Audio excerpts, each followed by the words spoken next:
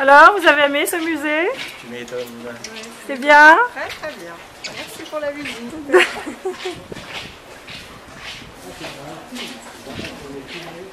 Mathilde, ça t'a plu ce musée? Super. Papa, il est il